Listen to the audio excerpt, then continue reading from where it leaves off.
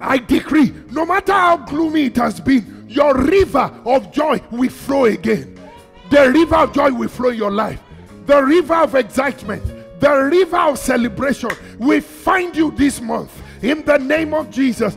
The God of Jacob we guarantee that no storms overtakes you. In the name of Jesus, your city will be intact. Your life will be intact. Your destiny will be intact. The plan of God for your life will be intact. In the name of Jesus, you will suffer no casualty. In the mighty name of Jesus, nations may be terrified, kingdoms may be shaken. The Lord will be with you. The Lord will keep you. In the name of Jesus, whatever terror may be raining by night, whatever terror may be raining by day, they will not touch you. Internal battles will stop. External battles will stop. Battles greater than you will stop. Battles causing you pain will stop.